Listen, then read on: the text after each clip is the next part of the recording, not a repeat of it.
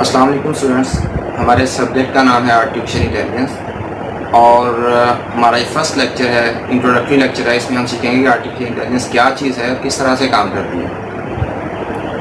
अगर हम इसकी थोड़ी सी हिस्ट्री के की तरफ़ जाएँ तो हम देखते हैं कि 1955 में जो है वो आर्टिफिशियल इंटेलिजेंस जो है वो सब्जेक्ट के तौर पर सामने आया।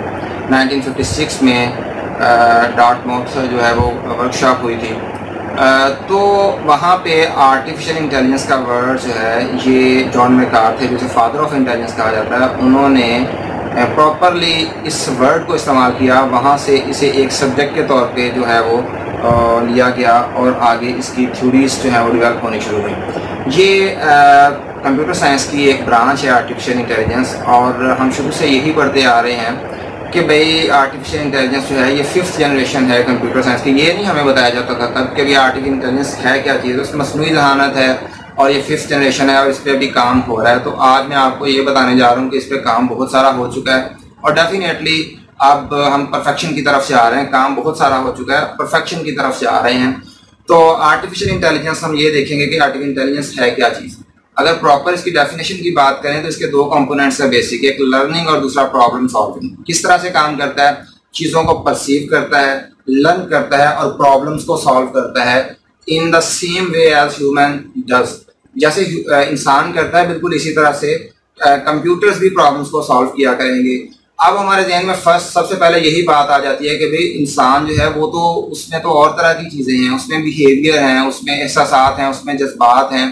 वो लव भी कर सकता है, वो हेट भी कर सकता है और डेफिनेटली वो काम तो इंसान कर ही रहा है जो कंप्यूटर्स कर रहा है। तो कंप्यूटर ये काम तो नहीं कर सकते कंप्यूटर लव हेट तो नहीं कर सकते। जिस तरह से फॉर एग्ज़ाम्पल हम एक एक वो, मैं आपको एक एग्ज़ाम्पल देता हूँ कि भाई हम कोई चीज़ कुक करते हैं, हम उसे कुक करने के बाद अगर वो हमारे पास सरप्लस है, बढ़ जाती है तो हम कहते हैं कि भाई ये हम पड़ोसी के घर में भेज देते हैं।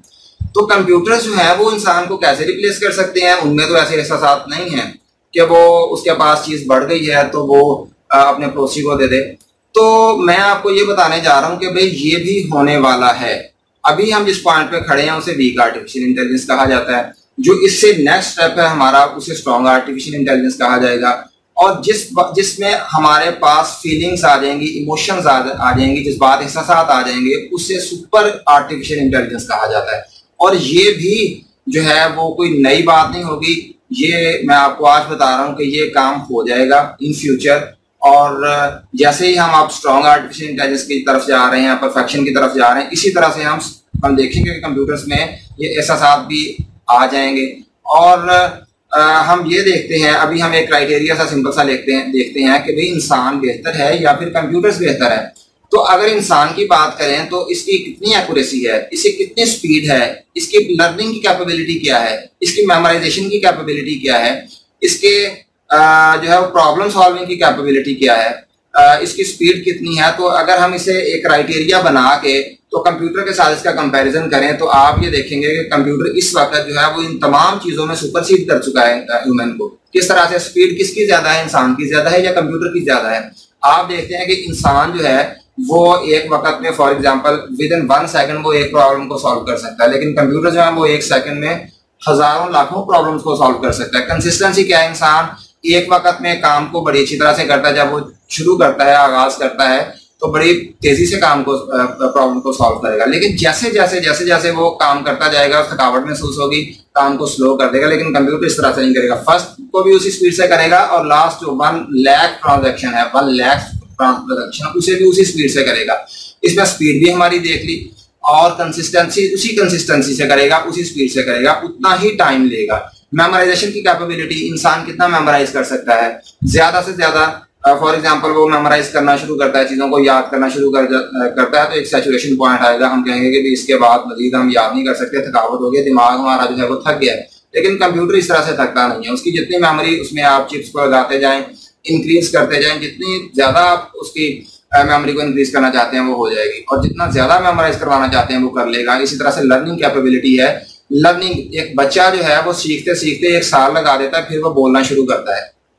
लेकिन जो हमारा कंप्यूटर है, ये इससे भी ज़्यादा स्पीड से जो है वो लर्न करेगा। एक दफ़ा बताने की ज़रूरत होगी और हमारा कंप्यूटर जो है, वो चीज़ों को जो है वो लर्न कर लेगा। अब मैं आपको एक और पॉइंट बताता हूँ कि आर्टिफिशियल इंटेलिजेंस जो है, ये किन किन चीज़ों को रिप्लेस कर सकती हैं? ये शायद कुछ लोगों के लिए, कुछ नए स्टूडेंट्स के लिए ये चीज़ जो है, ये एक नई बात हो। लेकिन मैं आपको बता दूँ फॉर एग्जांपल आप सोच सकते हैं कि भाई मैं एक ड्राइवर को ना हायर करूँ, बल्कि उसकी बजाय एक कंप्यूटर को हायर करूँ, जो मेरी गाड़ी को चला दे एक बिजनेसमैन ये सोचे कि भाई मैं बजाय इसके कि एक एडवाइजर रखूँ, एक इंसान रखूँ, मैं उसकी बजाय एक ही दफ़ा मैं एक कंप्यूटर परचेज कर सकता हूँ, जो मुझे एडवाइस देता रहे, मुझे बताता रहे कि भाई कौन सी चीज़ बेहतर है, कौन सी अच्छी है, कौन सी गलत है।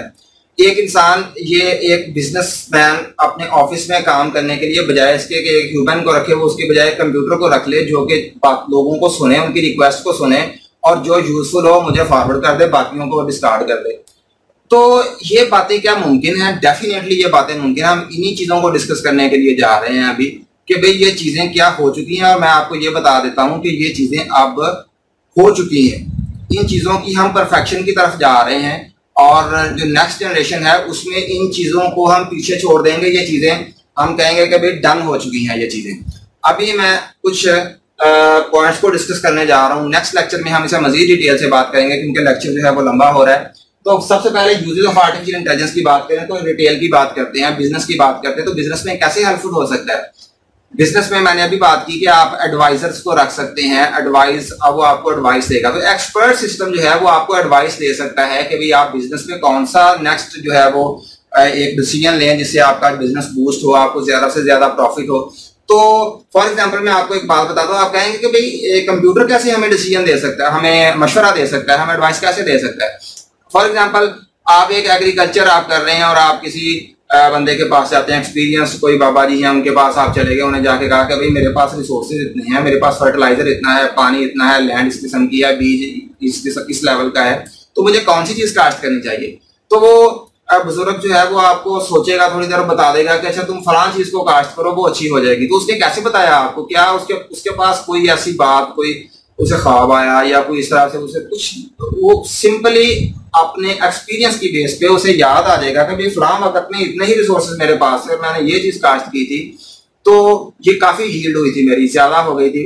तो वो आपको उस बेस पे मशवरा दे देगा। तो इसी तरह से क्या कंप्यूटर्स हमें ये मशवरा नहीं दे सकती? अगर हम कंप्यूटर्स में चीज़ों को फ़ीड करते जाएँ अपना एनुअल जो भी हमारी हील्ड हो, उसे उसे फ़ीड करें और जो भी उसके आर्गूमेंट्स हैं, जितना फर्टिलाइज़र है, जो भी है उसमें करते जाएँ, डालते जाएँ तो आप उससे पूछे तो वो एनालाइज करके आपको ये बात बता सकता है कि भाई आप के पास रिसोर्सेज इतने हैं, आप ये वाली कास्ट करें। तो फलां वक्त ये कास्ट की गई थी और बहुत ज़्यादा जो है उसकी प्रोडक्शन हुई थी। तो इस तरह से हमें इसके अलावा बिज़नेस में फॉर एग्जांपल हम अपना फ्रेट को कम करने के लिए ये हमें मशवरे दे सकता है कि कौन सा रूट सबसे अच्छा है, किस रूट से आपको जो है ये भेजना चाहिए, जो सेफ़ है, जो सबसे कम है, जिसमें हम ज़्यादा से ज़्यादा अपना, जो बचा सकते हैं, पैसे बचा सकते हैं। इसी तरह से शॉपिंग है शॉपिंग में सेल करने वाले के लिए भी और परचेज करने वाले दोनों के लिए हेल्पफुल है ये। फॉर एग्ज़ाम्पल हमारे ये एंड्रॉयड हैं या फिर आईफोन वगैरह हैं, ये देखें आपके ये थर्ड मैन की हैसियत रखते हैं। किस तरह से भला, ये लिसन करते हैं इंसान को। और ये कहा जाता है कि ये लिसन करते हैं। किस तरह से भला कि अगर हम दो लोग हैं, आपस में बात करें तो तीसरा बंदा हमारा ये एंड्रॉयड फ़ोन होता है या फिर आईफोन होता है, जो लिसन कर रहा होता है इंसान को। हम आपस में बात करते हैं कि मुझे ये चीज़ खरीदनी है या वो कहता है कि ये चीज़ अच्छी है ये ये चीज़ बुरी है। तो जैसे ही हम बाद में हम बातें करके खत्म हो जाते खत्म कर देते हैं बातों को और जब ये खोलते हैं ऐसे तो सामने ऐड आई हुई होती है कि भैया ये फलां चीज़ है इसे आप परचेज कर सकते हैं। ये इतने प्राइस में इस वेबसाइट से जाके फलां जगह से ये मिल सकती है इसका ऑर्डर आप कर दें। तो ये कैसे पता चला? वो लिसन करता है कंटिन्यूसली तो इसी तरह से हमें ये सजेशन यानी कि ये कस्टमर को सजेशन दे रहे होते हैं ये मोबाइल में। इसी तरह से आ, सेल करने वाले के लिए कि भाई जो पैटर्न चल रहे हैं कस्टमर एक चीज़ परचेज करता है चीज़ को तो उसके साथ दूसरी कौन सी चीज़ को परचेज करता है? ये बात तो डाटा साइंसेज की है, लेकिन मैं आपको एक बार यहाँ पे बता देता हूँ कि जितनी भी ब्रांचेस हैं कंप्यूटर साइंस की, सारी की सारी आके कहाँ पे मिल रही हैं? आर्टिफिशियल इंटेलिजेंस में आ रही हैं सारी की सारी। इन फ्यूचर जो है, ये आर्टिफिशियल इंटेलिजेंस है, बाकी सब चीज़ें स्टैटिक हो जाएँगी और वो आके बीच में एक जगह पे, जैसे एक रिवर की ट्राइब्यूटरीज आके तो एक जगह पे वो रिवर की शक्ल इख्तियार कर लेती हैं। इसी तरह से तमाम ब्रांचेज आके आर्टिफिशियल इंटेलिजेंस बन जाती हैं। तो शॉपिंग में सेल करने वाले को वो कहेगा कि भाई, अगर एक बंदा आता है आपके मार्ट पे टी परचेज करने के लिए तो साथ में वो मिडिल क्लास में परचेज करके जा रहा होता है। तो आप इस तरह करो, इन दोनों चीज़ों को साथ साथ वाले रैक्स में लगा दो। तो ये आर्टिफिशियल इंटेलिजेंस है। वो आर्टिफिशियल इंटेलिजेंस हमें हेल्पफुल हो सकती है शॉपिंग में। सिक्योरिटी सिक्योरिटी कैमराज हैं। सिक्योरिटी कैमरा में वीडियो रिकॉर्ड करने के बाद हर बंदा शाम को सारी की सारी वीडियो तो नहीं हम देख सकते। हमें कैसे पता चलेगा कि प्रॉब्लम कैसी है? तो ये एक गार्ड की हैसियत कैसे ले सकता है कंप्यूटर इस तरह से ले सकता है। कि सिक्योरिटी जो है, वो हम उसमें ऐसा एल्गोरिदम लगाएँ कि जो जो कैप्चर करे और जो रूटीन में काम हो रहे हैं, उन्हें तो वो कहे कि भाई ये ओके है। लेकिन अगर फॉर एग्जांपल लोग अचानक दौड़ना शुरू कर दें या एक जगह पे इकट्ठा हो जाएँ या वायोलेशन ही वो देखे तो वो फ़ौरन अलार्म को जो है वो बजा दे के भाई यहाँ पे कोई प्रॉब्लम है। तो ये एक सिक्योरिटी गार्ड की हैसियत भी ले सकता है आर्टिफिशियल इंटेलिजेंस सिक्योरिटी कैमरा इस तरह से स्पोर्ट्स में हमारे प्लेयर्स के लिए और हमारे जो होते हैं कोचेस होते हैं, उनके लिए हेल्पफुल हो सकता है कि वो एनालाइज कर सकते हैं कि कौन सा प्लेयर किस शॉट को ज़्यादा खेल रहा है, कहाँ पे वो उसे प्रॉब्लम है तो उसे ट्रैक किया जा सकता है। इसी तरह से मैनुफैक्चरिंग में आप देखते हैं कि मुख्तलिफ़ बड़ी जो कंपनीज़ हैं, वो क्या कर रही हैं? वो सारे का सारा काम करने के लिए रोबोट्स को इस्तेमाल टोयोटा कॉर्पोरेशन की मिसाल हमारे सामने है एग्ज़ाम्पल हमारे सामने है कि वहाँ पे जितनी भी जो मैन्युफैक्चरिंग हो रही है कार मैन्युफैक्चरिंग हो रही है ऑटोमोबाइल वहाँ पे वो रोबोट्स ही हैं जो सारे का सारा काम कर रहे हैं। इसी तरह से नेक्स्ट हमारे पास इनोवेटिव इन्वेंशन की अगर मैं बात करूँ इनोवेटिव इन्वेंशन में देखें कि हमारे पास एमेजोन है उसने उसका अलेक्सा सॉफ्टवेयर है गूगल असिस्टेंट है, ये असल में वर्चुअल असिस्टेंट इन्हें कहा जाता है। ये मोबाइल्स एंड्रॉयड हैं या फिर बाइक्स हैं जो कि हमारी वॉइस को सुनते हैं और उसके मुताबिक वो रिस्पॉन्ड करते हैं। तो सॉरी इनोवेटिव इन्वेंशन में अमेजोन का अलेक्सा है जो कि सुनता है और ऑपरेशन परफॉर्म करता है। इसी तरह से माइक्रोसॉफ्ट का कॉर्टाना है। इसी तरह से और भी डिफरेंट जो है वो कंपनीज़ जो है वो बना रही हैं। तो ये आप देखें कि मोबाइल जो हैं वो हमें सुन रहे हैं और उसके मुताबिक हमारी ख्वाहिशात को जो हमारी डिज़ायर है उन्हें फुलफिल कर रहे हैं। वो मुख्तलिफ़ फॉर एग्जांपल हम ये कहते हैं, उसे कहते हैं कि भाई सॉन्ग फला सॉन्ग चला दो तो वो हमारी वॉइस को रिकोगनाइज करता है, उसके मुताबिक सॉन्ग को चला देता है। तो ये एक एग्ज़ाम्पल है। इसी तरह से टाइप्स ऑफ़ आर्टिफिशियल अच्छा ये इनोवेटिव इन्वेंशन में आपको एक और बात बता दूँ। कि भाई इनोवेटिव इसमें हमारे पास जो है टेस्ला कंपनी है, वो ऐसे ऑटोमोबाइल कार्स बना रही है जो कि सेल्फ ड्राइविंग है। वहाँ पे ड्राइवर की ज़रूरत नहीं है, बल्कि वो खुद ब खुद ही ड्राइव करती है।